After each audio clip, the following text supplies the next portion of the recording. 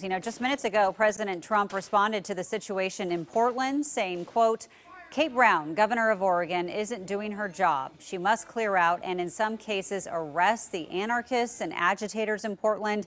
If she can't do it, the federal government will do it for her.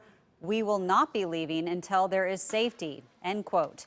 This comes just after the governor announced federal officers in Portland are expected to start leaving the city.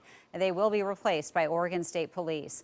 Governor Brown told CNN last night that the violence does sometimes pick up overnight, but it's taking away from the bigger message. Certainly, there's absolutely no question that in the wee hours of the night, uh, there is violent action happening uh, by a few outliers, including uh, the burning of trash cans and rock throwing. And this violence must end. It is a distraction from the incredibly important work ahead of us to tackle the issues of racism in our policing and in our justice system. Oregon State Police are expected to take over security of the courthouse later today, replacing some federal agents. Of course, we'll keep our eye on that and we'll let you know what happens.